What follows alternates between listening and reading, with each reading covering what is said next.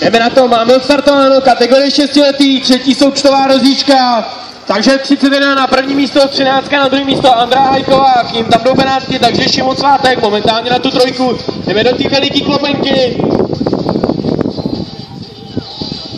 Takže na první místo stále 31. Tobias Lelbik, rozkouřeby, krásně se nám tam protáhl hned od startu, 33. Šimon Svátek, ten nám šel na tu dvojku až 13. Andrá Hajková Olympusný, momentálně na třetím místě, na 40 máme 24 a to je Matěj Sokol, pardubický závodník.